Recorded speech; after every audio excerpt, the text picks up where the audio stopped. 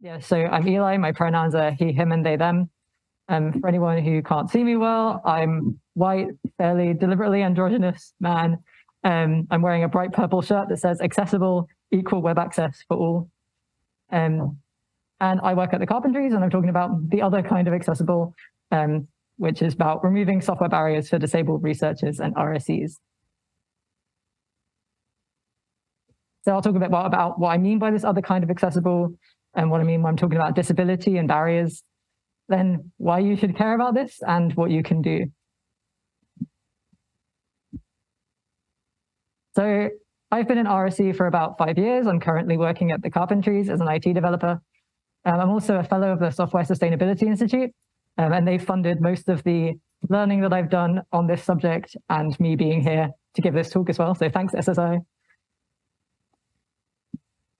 I also use voice control and eye tracking software because I have chronic RSI that affects my hands. Um, and as I tried to get my particular setup working, I realized how much harder it can be to use the web with assistive technologies like these. Um, and so I started studying disability and accessibility, and it's culminated in me being here to give this talk. Um, my motivation for this talk specifically is that I've ended up kind of straddling two worlds. There's the RSE world and there's the web accessibility world, um, which is mostly exists in industry. And the word accessible uh, gets thrown around a lot in both, but it tends to mean quite different things in each context. Sometimes I see talks or discussions or just general chat about things like, quote, software ergonomics or, quote, software usability uh, in RSE space. And these tread the same kind of ground as I'm going to talk about, but they rarely mention disability specifically. I want to bring disability back into these conversations. It's disability activists that started a lot of this work off in the very beginning, and sometimes it gets overlooked. Um, there's also a lot of accessibility expertise in industry that we in the RSE community can definitely learn from. So I want to bring your attention to all of that as well. So what do I mean when I'm talking about the other kind of accessible? I kind of already spoiled it in the talk title. Um, but first, I want to talk about what accessible um, is described as in the FAIR for research software, specifically the FAIR principles. Um, this states that software and its metadata is retrievable or should be retrievable by, by standardized protocols, so protocols that are open, free, uh, allow authentication, and so on. This doesn't mention disability anywhere. Um, what I'm trying to talk about with this other kind of accessible is accessible in a disability context. So um, accessibility means that disabled people can do what they need to do in a similar amount of time and effort as someone that does not have a disability. It means that people are empowered, can be independent, and will not be frustrated by something that is poorly designed or implemented. The A in FAIR doesn't really cover this. And then I read through um, the other, the F, the I, and the R, and you could maybe argue that it's slightly covered in some of those, but it's not really explicit anywhere. And I think this is a bit of an oversight. Um, I don't know how to fix it, but I want to talk about it. To make it a bit clear what I'm talking about um, in the context of um, accessibility in a, in a disability context, I'm going to introduce the term uh, A11Y. This is a shorthand that's used a lot in industry for this digital accessibility. Um, it's like an, it's a numeronym, so it's like an acronym, but it has numbers in it. Um, and it comes about because there are 11 letters between the A and the Y in the word accessibility. I tend to pronounce this Ali. Some people say A11Y. In this talk, I'll probably just say accessibility as a whole word. Um, but And to understand what I want to talk about with accessibility, we first have to understand what I'm talking about when I talk about disability and barriers. So a little crash course on that as well. And in particular, I want to talk about two models of disability. These are ways that you can think about disability. Um, the first one being the medical model. So under the medical model of disability, disability is the result of an impairment any treatment is focused on kind of fixing, maybe curing the disability. um, or providing special individual services, so quote, special schools or specific patient transport schemes. Um, and the disabled individual is typically expected to take the responsibility for adjusting to their disability. So they make their own accommodations and adaptations so that they can do certain things. A statement you might hear under this model would be something like, she can't read the newspaper because she is blind. And this model is quite prevalent uh, in society at the moment, but I want to present a model that runs pretty much counter to this, which is the social model of disability. Under this model, disability is not intrinsic to a person, but it's the result of barriers in society. So it's separate to any impairment you might have. And this means that a person may be more disabled by some environments than others. And it's everyone's responsibility, it's society's responsibility to remove these barriers that are disabling people. So a statement that you might hear under the social model um, is, quote, she can't read the newspaper because it's not published in large text or braille. This puts the responsibility onto the publisher for not publishing in an accessible format, rather than, rather than blaming a person for their impairment. For this reason, uh, the social model is broadly preferred by the disabled community.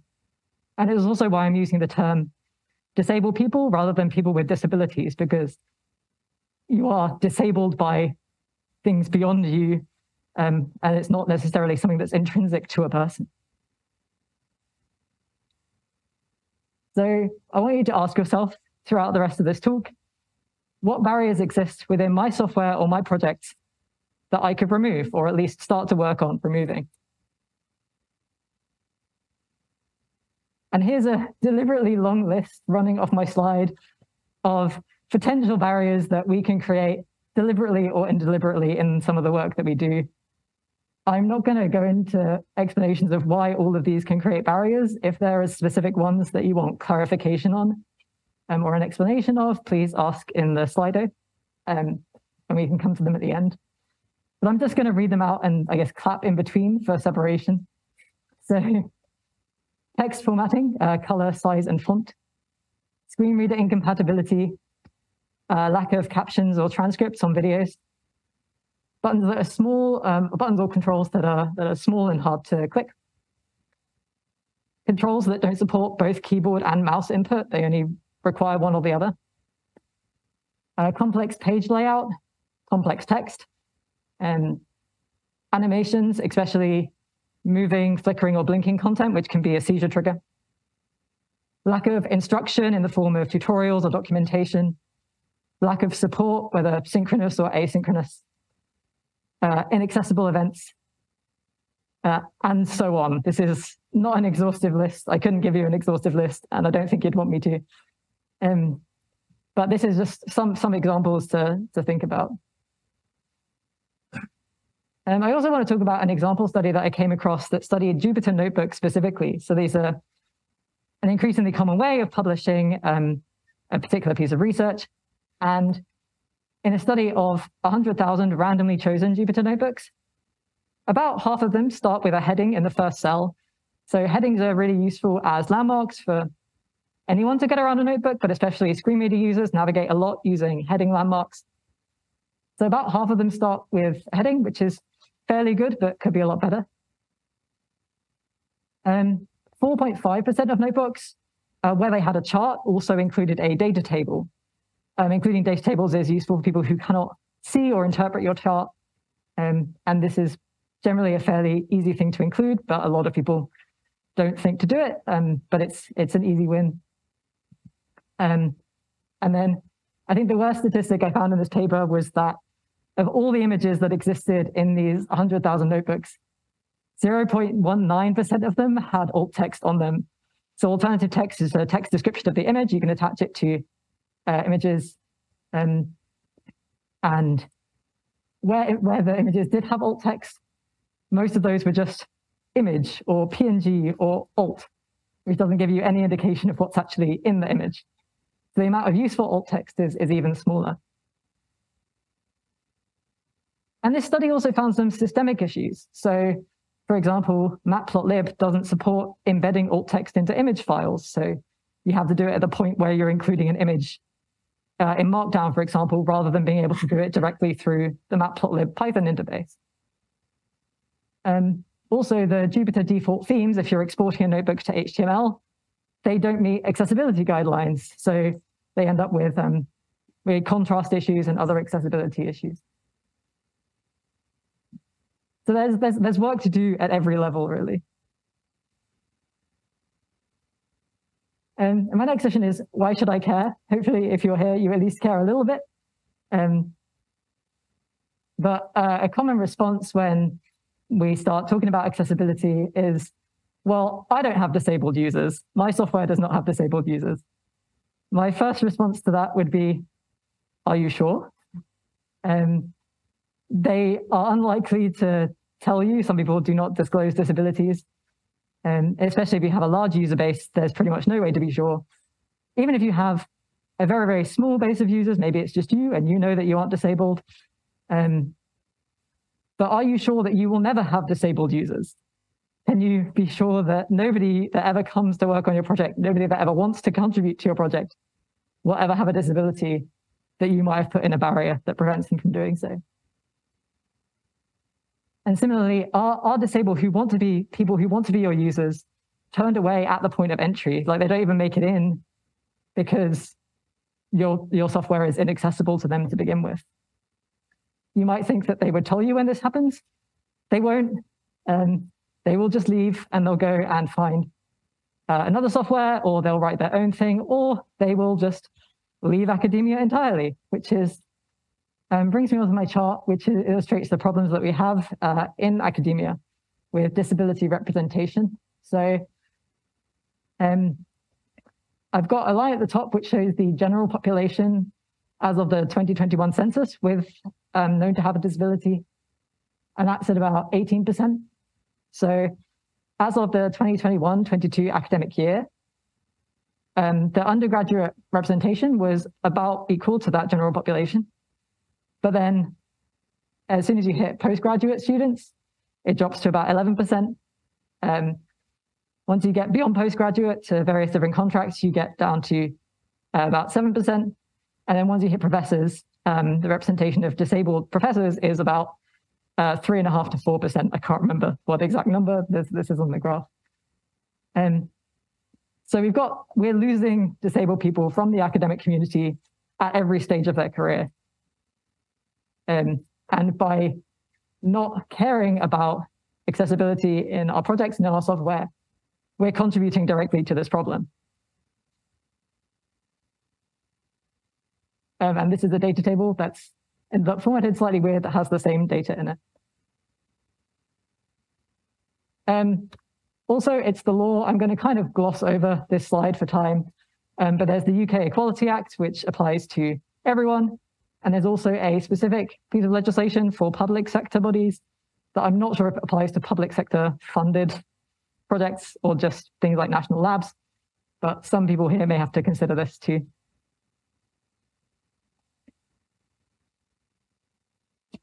So hopefully I've persuaded you that you should care about this and you're now asking yourself, well, what, what, what can I do? What steps can I take to try and improve my own projects?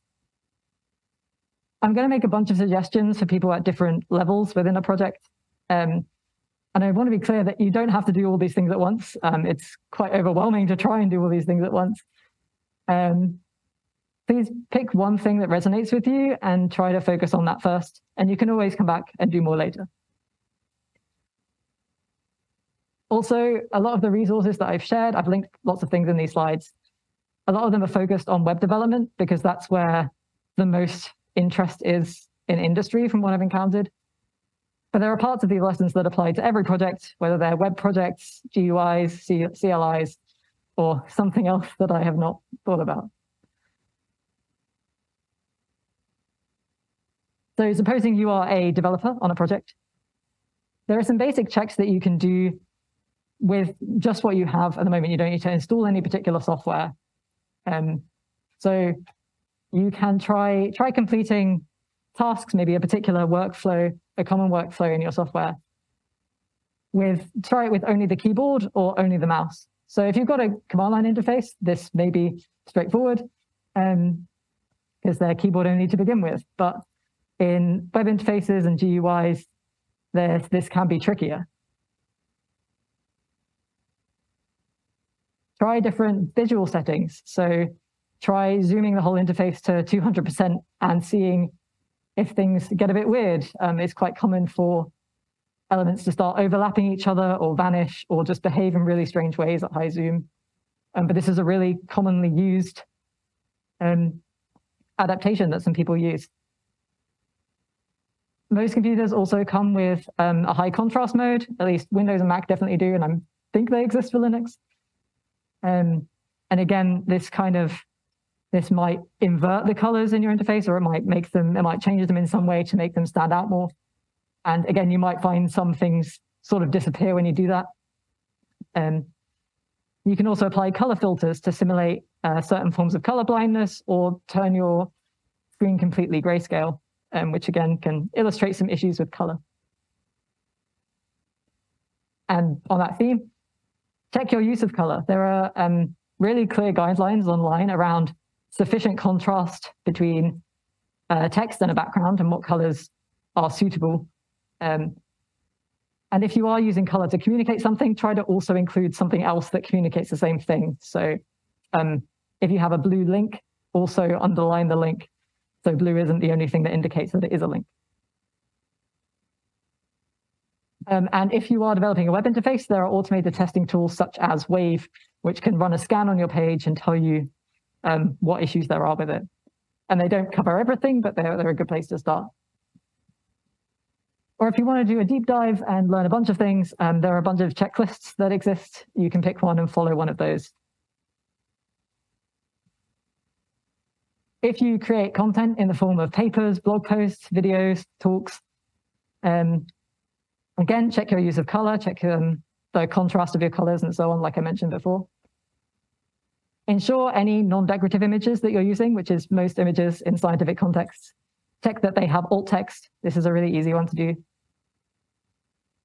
If you have complex images, such as charts, graphs, or maps, uh, provide a text alternative or a data table alongside them, like I did earlier in this talk.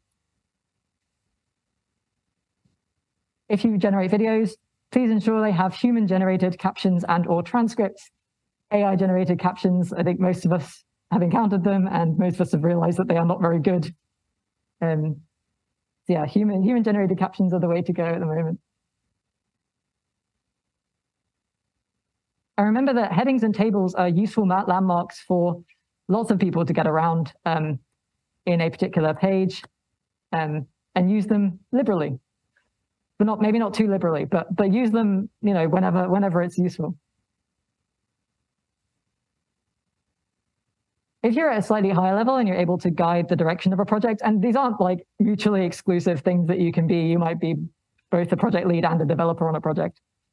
But if you do guide project direction, consider setting accessibility requirements and targets for development. You can use automated accessibility tests in your continuous integration if you use that. We use a tool called Pa11y, which is free and open source. And that again, just scans all our web pages and gives that automated report on all of them. Try to prioritize accessibility in your planning or road mapping process if you have one. And crucially, treat accessibility issues as bugs. Um, and these, these can have varying levels of severity and treat them as severe when they are, when they're blocking people from, from using your software at all. Try to arrange user testing that includes disabled users specifically, or and or a professional accessibility audit. There's a lot to know about accessibility and it's hard to learn it all, but there are people out there who know much of it and can test your software for you and ask, are there barriers in the development process that would prevent some people from contributing? And, and if there are, then try to work on that. If you have enough influence to guide organizational direction, again, set accessibility requirements and targets for projects, or ask your organization to do so. Invest in accessibility training for developers. Consider following an accessibility playbook or using a maturity model to guide um, accessibility L&D in, in the long term. And finally, if you influence funding bodies, these push for accessibility to be prioritized in all research outputs, including but not limited to software.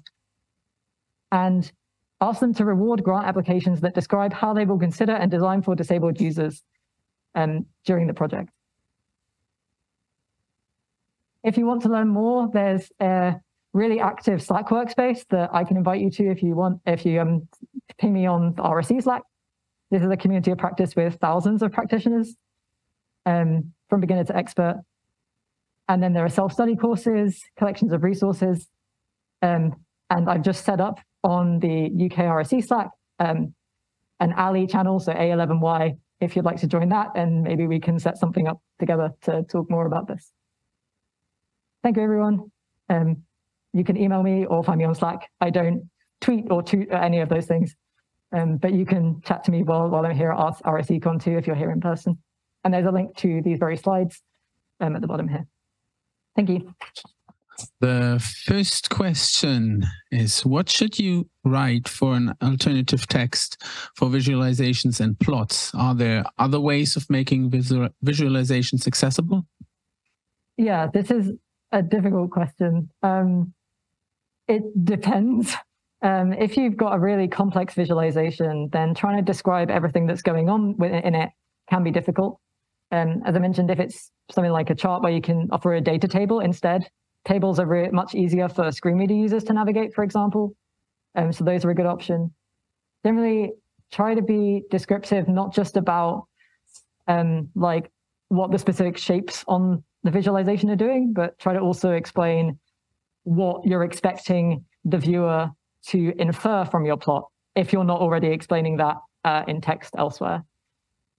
Um, there are people working on making accessible visualizations that can be um, interactive with, with screen readers. Uh, I'm not an expert on that, but again, in that um, Web Ali Slack that I mentioned, there are people who work on that sort of thing, uh, and I can send you an invite if you ping me. Thank you. The next question, there might be incompatible concerns in general, but explicitly within uh, accessibility. For example, underlining for color highlighting, as you said, might then challenge people with dyslexia. Um, how would I tackle such? Yeah, so there, it, um, let's see. There are quite a lot of common practices. So like underlining links, for example, and making them blue is a very common practice across the web. Um, it is possible on the web specifically for people to uh, add their own style sheets, like make set up custom style sheets that change the fonts or um, specific CSS on a web page so that it's more readable to them specifically. Um, so that's part of it. Um, there are web content accessibility guidelines. It's this huge document with loads of um, discussion on exactly this sort of thing. And it's they're, they're very specific about what's what the best practices are and how to try and make things that are accessible for as many people as possible. The reality is that nothing is ever going to be accessible for absolutely everyone. We're just trying to maximize uh, in general. Okay, thank you. We'll take one last question. Um, there is a phrase, a picture is a thousand words, and you may be familiar with the animation of a dinosaur having the same mean and variance as a circle. I'm personally not, but you might be. Um, how useful are data tables for non-trivial data? Um, I also haven't seen this animation, but I would like to. Um, Someone yeah. please put a link in the RSECon channel. Um, yeah, it's just one of those questions where it depends. Uh, if you have a data table that's got, you know, 100 columns and 2,000 rows, that's not going to be easy to navigate. Um, so it, it's a question of like how much data that you have, but also some visualizations just are too complex. And if you're struggling to think about how to represent this in a way that's not visual, um, maybe there are ways that you can reconsider how to simplify the visual data that you're showing as well. Okay, then let's thank the speaker again.